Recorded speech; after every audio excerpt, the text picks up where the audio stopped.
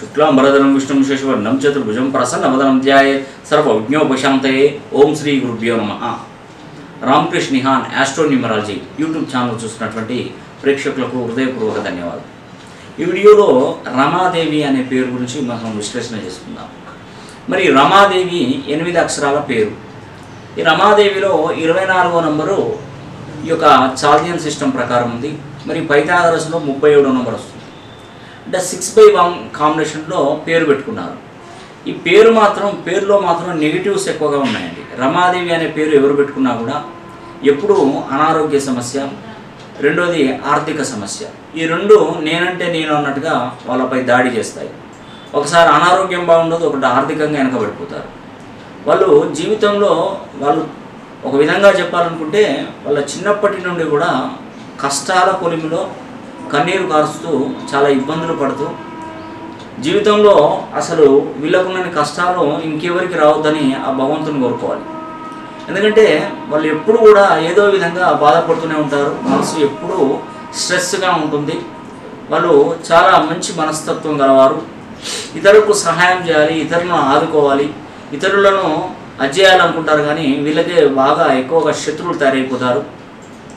సంఘంలో వీళ్ళు మాట్లాడిన మాటలకు కొందరు స్వాగతిస్తే కొందరు అపవాదులు మూటగడతారు అదేవిధంగా జీవితంలో వీళ్ళు ఏదైతే అనుకున్నది సాధించాలనుకుంటారో అది చాలా లేట్ ప్రాసెస్ అవుతుంది. అంటే చాలా టైం పడుతుంది.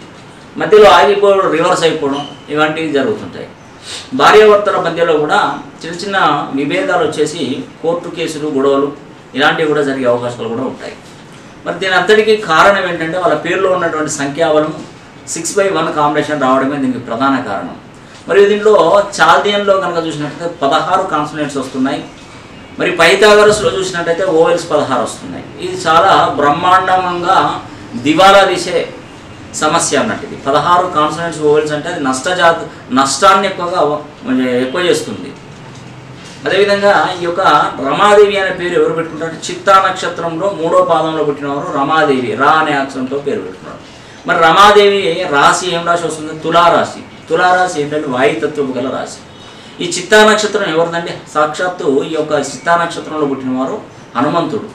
మరి ఈ చిత్తా నక్షత్రానికి అధిదేవుడు ఎవరండి? కుజుడు.